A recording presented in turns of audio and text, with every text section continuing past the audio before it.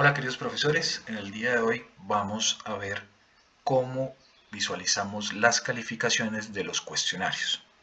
Recuerden estar dentro de la plantilla de trabajo del curso y vamos a activar edición. ¿Dónde activamos edición? En la parte superior derecha en el botón activar edición. Listo, nos ubicamos en el módulo o unidad temática donde, estamos, donde hemos creado nuestra actividad de evaluación que es cuestionario y vamos a darle clic en prueba cuestionario. Perfecto, nos muestra el nombre, la descripción, los intentos permitidos, cuándo se abre el cuestionario, cuándo se cierra, si tiene restricciones ya sea de contraseñas o, ampliación de tiempo, el límite de tiempo para el del, estudiante para resolverlo y nos va a mostrar los intentos, mírenlos aquí para, visualizar quiénes resolvieron el cuestionario y cuál fue su nota, le damos clic en intentos. Perfecto. Nos muestra esta ventana donde nos, donde nos dice que todos los usuarios matriculados han hecho el intento de resolver el cuestionario. Y en la parte inferior nos muestra qué estudiante fue el que realizó este cuestionario.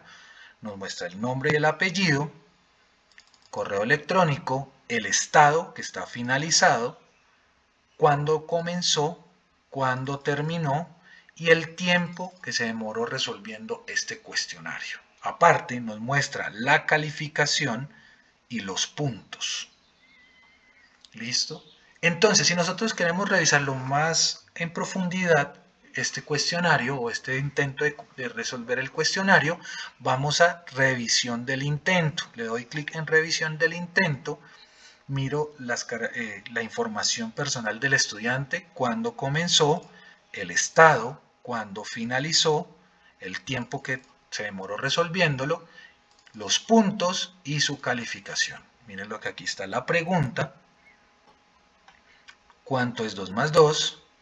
respondió que era la A, con su retroalimentación muy bien, nos muestra otro historial de respuesta y le damos finalizar revisión. Perfecto. Volvemos al intento. ¿Por qué volvemos al intento? Recuerden que a veces los estudiantes se les cae el internet, bueno, y tuvieron problemas para resolver este cuestionario.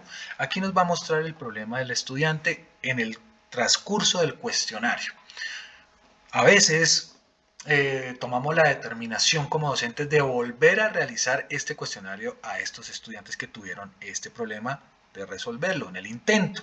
¿Qué debemos hacer? Seleccionamos el estudiante. ¿Dónde lo seleccionamos? Aquí, en esta casilla.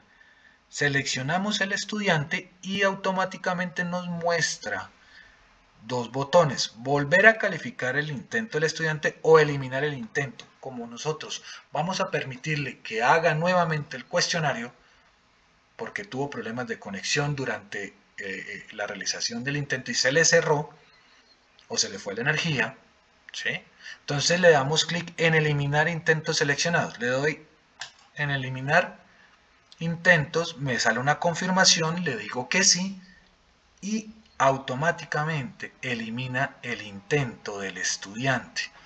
¿Qué quiere decir esto? Que el estudiante puede volver a realizar el cuestionario para obtener su nota. ¿Listo? Teniendo en cuenta estos pasos y esta información, damos por culminada el video tutorial de cómo administrar y calificar el cuestionario en la plataforma Moodle de Univida.